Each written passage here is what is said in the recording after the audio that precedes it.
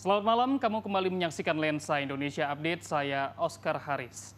Mesir telah selesaikan vaksinasi bagi seluruh pekerja wisata di Sinai dan Laut Merah. Rencananya proses vaksinasi akan diselesaikan hingga akhir tahun demi menarik wisatawan berkunjung ke Mesir.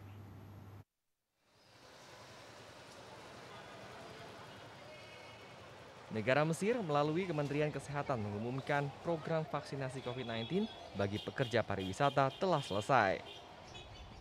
Semua pekerja di area Laut Merah dan Provinsi Sinai Selatan secara menyeluruh telah menerima vaksinasi.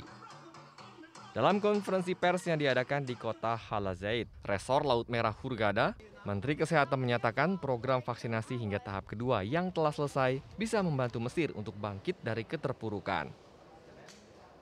Industri pariwisata yang berfokus di area pantai bisa kembali pulih usai semua penduduk telah menerima vaksin. Hal ini sejalan dengan meningkatnya jumlah wisatawan yang datang ke Mesir.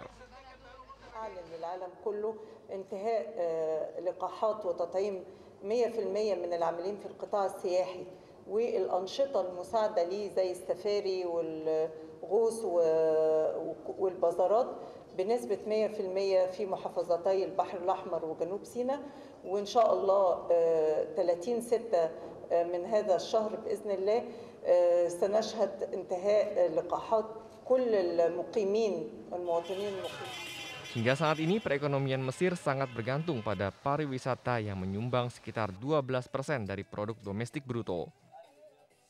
Dengan populasi sekitar 100 juta orang, pemerintah Mesir masih berjuang untuk menghidupkan kembali sektor pariwisata usai pemberontakan yang terjadi tahun 2011 dan pandemi tahun 2019.